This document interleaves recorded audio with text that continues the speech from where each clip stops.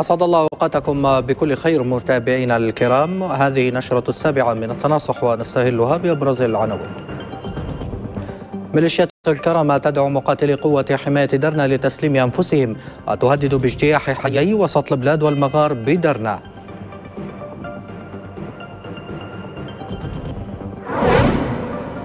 عقب لقاء ترامب وكونتي بواشنطن الخارجية الإيطالية تسعى لعقد مؤتمر دولي بشأن ليبيا.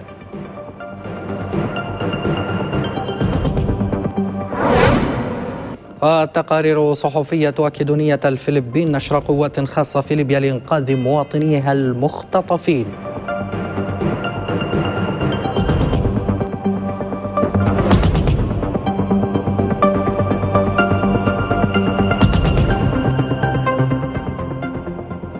التفاصيل. السلام عليكم ورحمة الله. منحت ميليشيات الكرم مقاتلي قوة حماية درنا المتواجدين في حيي المدينة القديمة والمغار مهلة انقضت ظهر الاثنين ذلك لتسليم أنفسهم بإشراف جمعية الهلال الأحمر. طلب أحد القياديين بميليشيات الكرم بحسب فيديو مصور نشر على مواقع التواصل الاجتماعي طالب مقاتلي قوة حماية درنا بحي المدينة القديمة بتسليم أنفسهم وفقا لأوامر قائد ميليشيات الكرامة خليفة حفتر.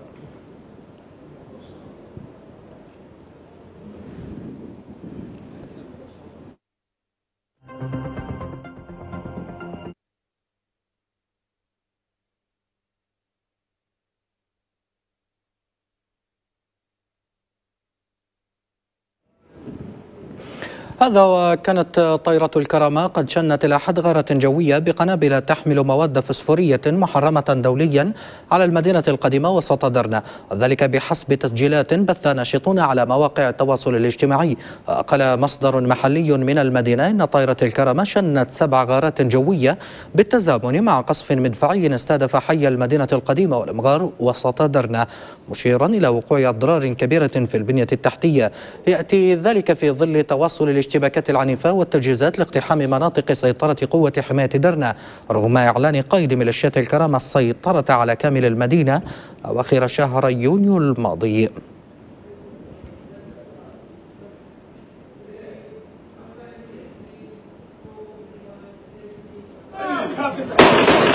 ضرب جديد من ضروب البغي والقمع والترويع تنتهجه ميليشيات الكرامة بمدينة درنا. في سعي قائدها الحثيث لإسكات أصوات أهلها وطمس معالم مدينة الصحابة الرافضة لحكم العسكر. قصف متواصل على المدينة استخدمت فيه القنابل الفسفورية المحظورة دوليا. قنابل استخدمتها ميليشيات حفتر في مناطق وسط البلاد بدرنة. والمعروف أن مثل هذا النوع يستخدم في الحروب بهدف تطهير مواقع العدو وإضاءة ساحة المعركة ليلا وتمييز الأهداف كما تستخدم لإحداث خسائر بشرية واسعة النطاق. درنا الزاهرة فبعيد اقتحام مدينة درنا من قبل ميليشيات مجرم الحرب حفتر ونزوح أهلها ومن رجع منهم تم اعتقاله حيث أكدت مصادر بالمدينة شن حملات اعتقال واسعة كان آخرها اعتقال مدير مستشفى الوحدة الطبي وليد طرابلسي. منظمات دولية ومحلية أدانت فيما سبق العمليات التي تنتهجها ميليشيات الكرامة في حق المدنيين والمعالم الأثرية سواء ببنغازي ودرنة واستخدام أسلحة محرمة دولية بالاستعانة بالطيران المصري والإماراتي للسيطرة على مدن ليبيا. بالله. فكر المنطقة ممسوحة الله أكبر. قصف ودمار قتل وتنكيل بهكذا صور أصبح المشهد جليا للعيان. مشروع أريد به إخضاع إرادة شعب. يأبى إلا أن يكون حرا.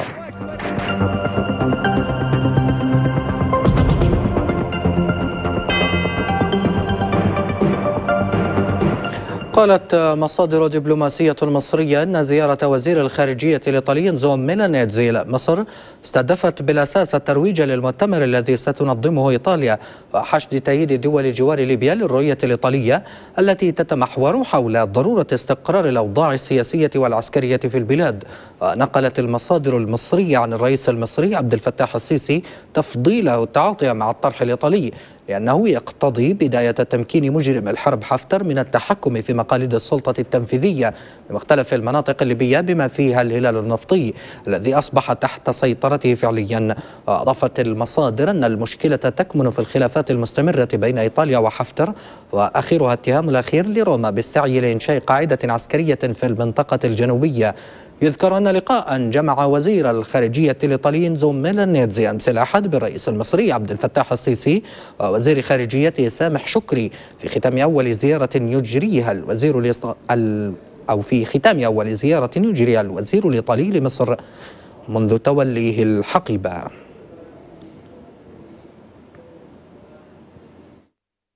زيارة هي الأولى من نوعها يجريها وزير الداخلية الإيطالي إنزو ميلانينزي إلى القاهرة منذ توليه الحقيبة حيث التقى بالرئيس المصري عبد الفتاح السيسي ووزير خارجيته سامح شكري. استهدفت الزيارة بحسب تقارير إعلامية نقلت عن مصادر دبلوماسية الترويج للمؤتمر الذي ستنظمه إيطاليا على غرار ملتقى باريس. لكسب تأييد دول جوار ليبيا للرؤية الإيطالية التي تتمحور حول ضرورة استقرار الأوضاع السياسية والعسكرية في البلاد. وتأتي هذه الخطوة عقب نجاح رئيس الوزراء الإيطالي جوزيبي كونتي في انتزاع تأييد الرئيس الأمريكي دونالد ترامب لتنظيم مؤتمر روما.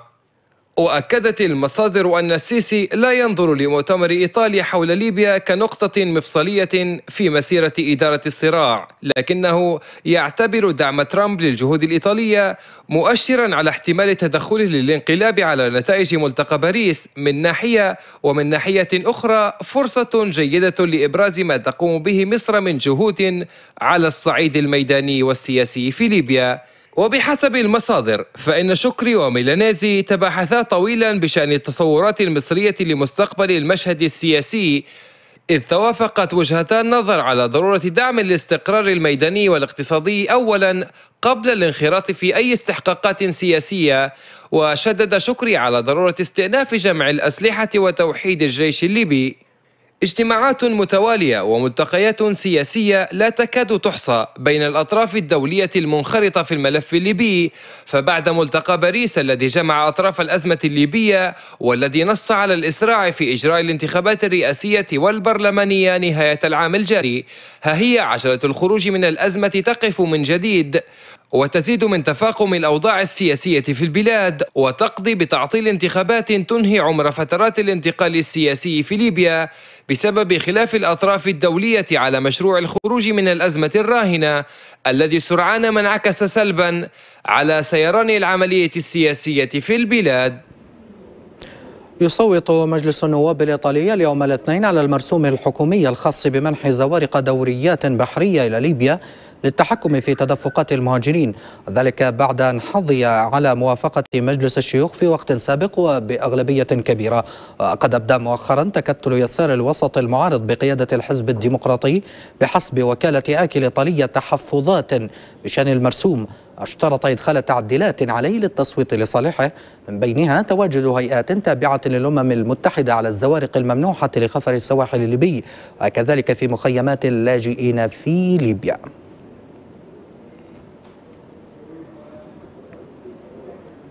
في شأن آخر أعلن القيادي أو في ذات الشأن أعلن القيادي في الحزب الديمقراطي الإيطالي المعارض جراتسيانو داليريو أن مجلس النواب الذي سيصوت اليوم الاثنين على مرسوم منح زوارق دورية للبحرية الليبية رفض جميع التعديلات المقترحة من حزبه والداعية إلى تعزيز وجود منظمات الأمم المتحدة في مراكز لواء ليبية على سفن إنقاذ المهاجرين. وكان الحزب الديمقراطي قد اشترط تصويت نوابه في البرلمان لصالح المرسوم بتنقيحه كي يتضمن التزاما من السلطات الليبية بتواجد موظفي المنظمات الأممية المعنية بقضية الهجرة على متن الزوارق الدورية الممنوحة لخفر السواحل الليبي في معسكرات إيواء المهاجرين. مهاجرنا في ليبيا.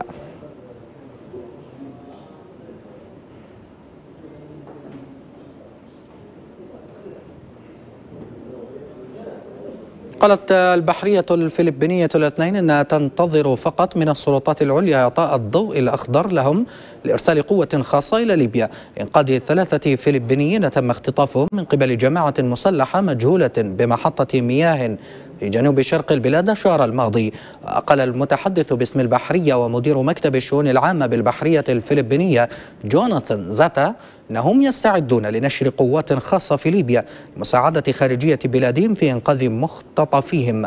أكد زاتا في تصريح لصحيفة مانيلا بولتينا الفلبينية أنهم يتحققون من الواقع على الأرض وينسقون بشكل متواصل مع القائم بالأعمال في ليبيا حول عملية الإرسال.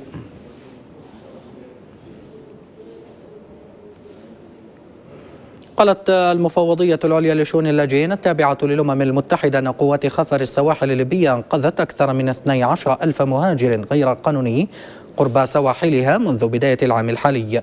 المفوضية في بيان الاثنين بيّنت أن خفر السواحل الليبي انتشل نحو 100 جثة لمهاجرين غير قانونيين. لقوا حتفهم أثناء محاولتهم الهجرة إلى أوروبا عبر السواحل الليبية منذ مطلع العام الحالي.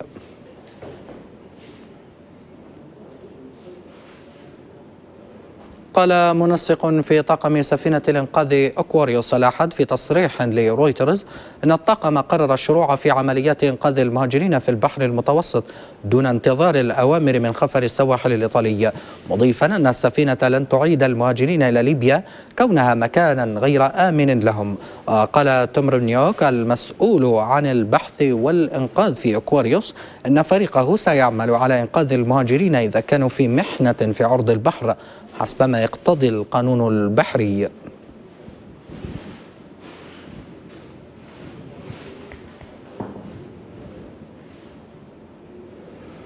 بحث وكيل وزارة الداخلية لشؤون الهجرة غير الشرعية بالحكومة المقترحة محمد الشيباني مع جهاز أمن السواحل والحدود ومندوبين عن جمعية الهلال الأحمر الليبي آليات نقل وانتشال ودفن جثث المهاجرين غير الشرعيين. بحسب الصفحة الرسمية للوزارة فإن الاجتماع الذي عقد بديوان الوزارة بطرابلس الاثنين تمخض عنه إعطاء الأولويات للعمل على هذا الملف في أسرع وقت خلال الأيام القادمة.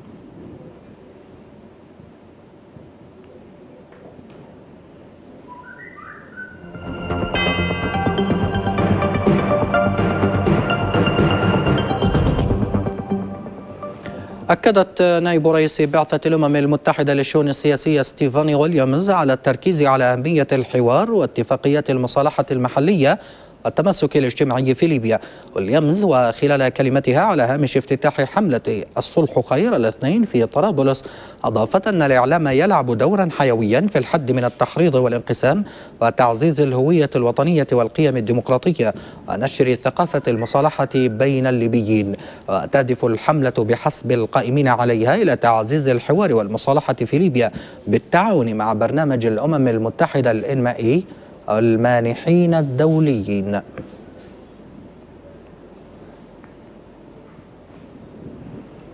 هذا وأكد محمد شوبار مدير عام الحملة الإعلامية الصلح خير أن هذه الحملة سيكون لها تأثير في نشر ثقافة التصافح والتسامح مؤكدا في تصريح للتناصح أثناء افتتاح الحملة الاثنين على أهمية مشروع العدالة الانتقالية بالإضافة إلى عودة المهجرين بالداخل والخارج.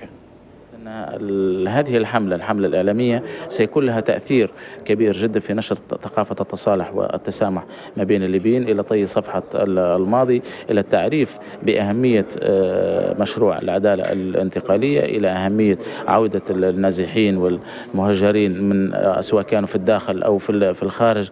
يجب الليبيين اليوم أن يفتحوا صفحة جديدة كلها تفاؤل كلها تسامح كلها صفح كلها آه، هذا هو السبيل الأمثل للوصول إلى حالة من الاستقرار للدخول في مرحلة أخرى هي مرحلة التنمية والرخاء والنماء والازدهار. بحث رئيس المجلس الأعلى للدولة خالد المشري مع سفير المملكة المتحدة لدى ليبيا فرانك بيكر التطورات في المشهد السياسي في البلاد وسبل تذليل العقبات أمام الاستحقاق الانتخابي والاستفتاء على الدستور. أكد المشري خلال اللقاء الذي جمع الطرفان بالعاصمة طرابلس أنه يجب التركيز على الجانب أو على الجانب الخدمي في هذه المرحلة وعدم ربط تنفيذ الإصلاحات الاقتصادية بالانتخابات والمجريات السياسية. من جهته أشاد السفير البريطاني بدور المجلس الأعلى للدولة في التنسيق مع المصرف المركزي والحكومة المقترحة من أجل تنفيذ هذه الحزمة من الإصلاحات الاقتصادية. رفع المعاناة عن المواطن الليبي.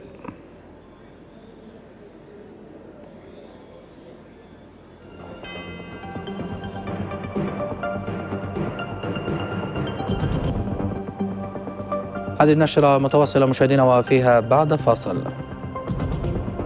وزارة التعليم بالحكومة المقترحة تقول إن نسبة النجاح في امتحانات الدور الأول للشهادة الإعدادية بلغت أكثر من 50%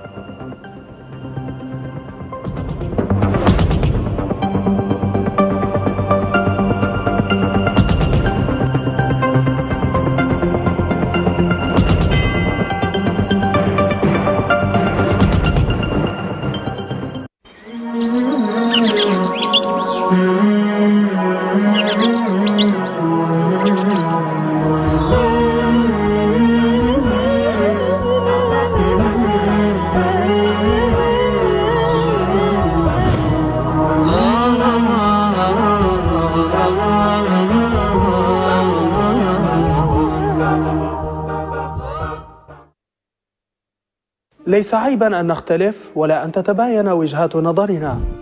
ما دام الأصل فينا الحفاظ على هذا الوطن دينا ووحدة وعدالة. ومهما استغل المتربصون الخلاف وسعوا لنشر غراب الفرقة بيننا. تبقى جهود الخيرين من أبناء الوطن تواصل الليل بالنهار لتعم المصالحة ربوعه. فرصة المراجعة لم تنتهي وما يجمعنا أكبر بكثير مما يفرقنا. ولنا في التاريخ أجداد إسوة فما جعلنا نتوحد أيام الاستقلال يجعلنا قادرين على توحد اليوم. مطلبنا مصالحة حقيقية تلم الشعب. ومبادرة تحقق العدل. واتفاق ينهي الفتنة. صلح يعيد الأمن والسلام. فليبيا تستحق البناء وشعبنا يستحق المصالحة.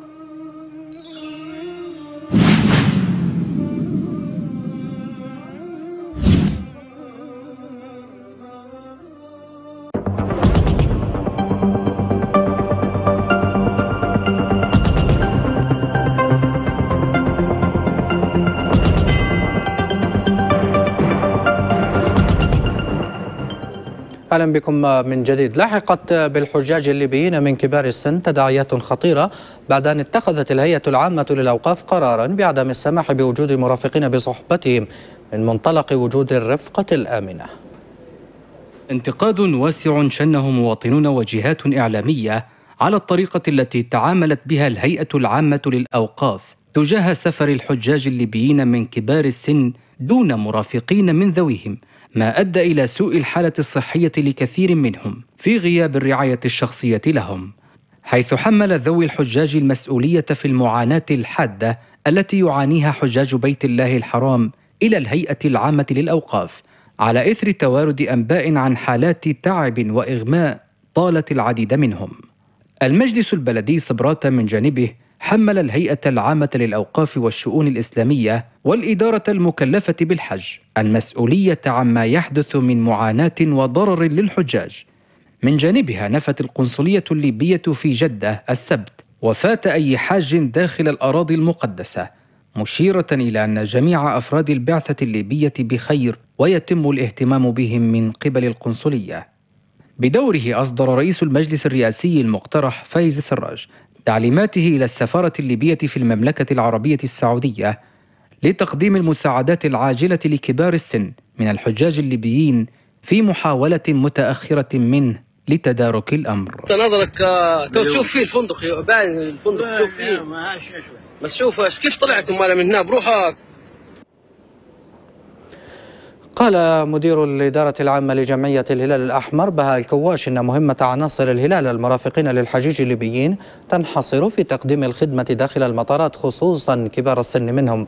الكواش في تصريح صحفي الأحد أوضح أن مهمة الهلال الأحمر إنسانية بحتة لكنها لا تصل إلى حد أن تطلق عليهم صفة مرافق للحجاج اذكروا أن هيئة الأوقاف فتحت باب التسجيل لكبار السن من مواليد ما قبل عام 41 مشترطة عدم اصطحابهم لمرافقين معهم.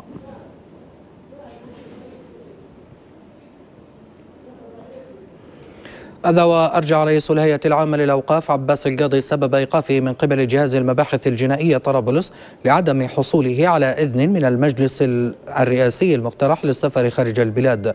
أضاف القاضي في تصريح له أن سفره إلى المملكة السعودية لحلحلة الإشكالات المتعلقة بالحجاج فيما أشارت مصادر أخرى بأن أسباب الاحتجاز شكاوى تقدم بها أهالي الحجاج على خلفية قرار منع اصطحاب مرافقين مع كبار السن. وكان القاضي قد تم توقيفه السبت في مطار معتيقة من قبل المباحث الجنائية طرابلس بينما كان في طريقه إلى المملكة العربية السعودية.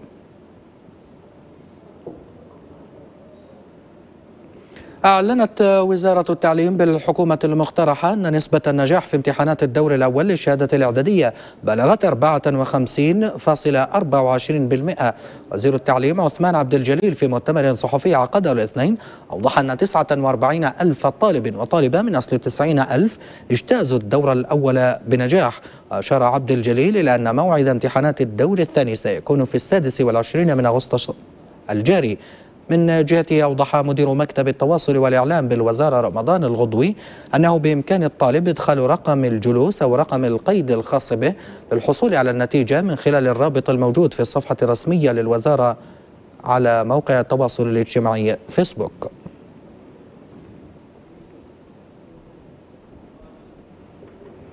أعلن المكتب الإعلامي ببلدية زليتن عن وصول 260 طنا من القمح المورد لمطحن غلال زليتن الأحد. وصلت الكمية الموردة عبر الشركة الوطنية للمطاحن والأعلاف المساهمة حيث أكد المكتب الإعلامي أنه سيتم تحويلها إلى مادة الدقيق التي شهدت نقصا في الكميات وارتفاعا في الأسعار بسوق الغذاء المحلي.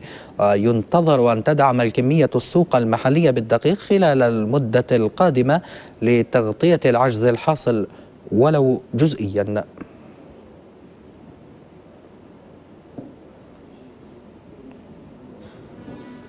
أعلنت الشركة العامة لكهرباء الاثنين عن خروج الوحدة الغازية الثانية لمحطة السرير للكشف الروتيني لمدة يومين. وأفاد مدير محطة السرير خير الله الحضيري أن الخروج المبرمج جاء لغرض الكشف الروتيني لإجراء عملية الصيانة التي يوصى بها أو يوصي بها المصنع حفاظا على الوحدة واستمرارية كفاءتها. وأكد الحضيري أن الوحدة من المحتمل دخولها على الشبكة العامة الخميس القادم بقدرة إنتاجية تقدر بحوالي 220 ميجاوات.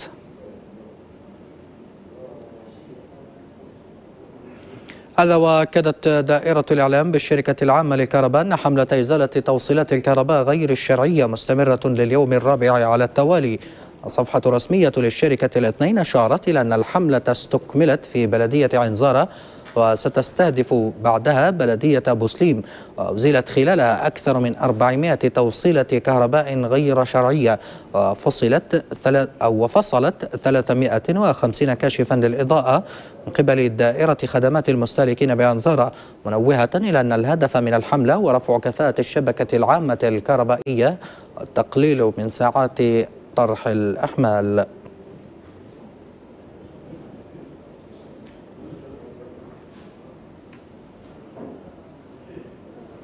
أرجع مدير عام المركز الوطني لعلاج وجراحة القلب تاجرة أبو بكر الشبيلي أسباب عدم تمكن الفريق الطبي الأمريكي من إجراء العمليات الجراحية لأطفال مرضى القلب بالانقطاع الكهربائي المتكرر. مشيرا في مؤتمر صحفي عقد الأحد بمركز القلب بتاجرة شرقية طرابلس إلى حدوث أعطال في الأجهزة والمعدات الطبية الخاصة بغرف العمليات. نشد شبيل الشركة العامة للكهرباء بإيجاد حلول عاجلة لتفادي حدوث كوارث طبية داخل المركز. إمكانيات شحة وعلاج وجراحة أمراض القلب غالية التكلفة لا توجد ميزانية تكفي لعلاج وجراحة أمراض القلب.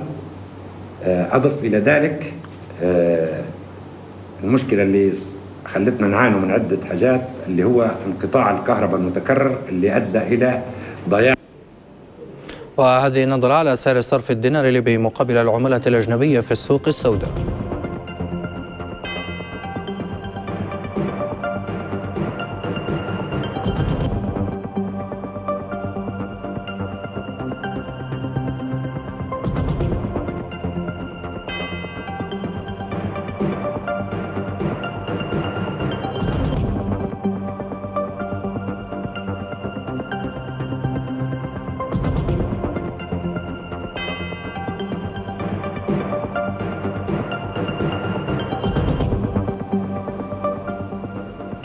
وقبل الختام تذكير بأبرز العناوين. ميليشيات الكرامة تدعو مقاتلي قوة حماية درنا لتسليم أنفسهم وتهدد باجتياح حيي وسط البلاد والمغار بدرنا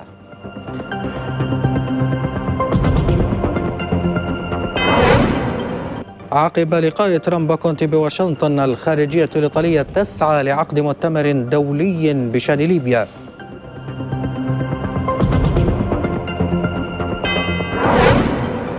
تقارير صحفية تؤكد نية الفلبين نشر قوات خاصة في ليبيا لإنقاذ مواطنيها المختطفين.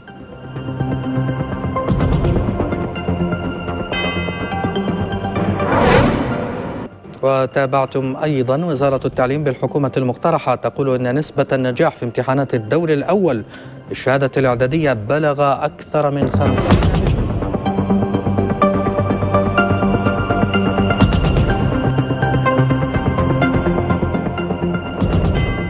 شكرا مشاهدينا على حسن المتابعة على أمل اللقاء بكم مرة أخرى. في أمان الله.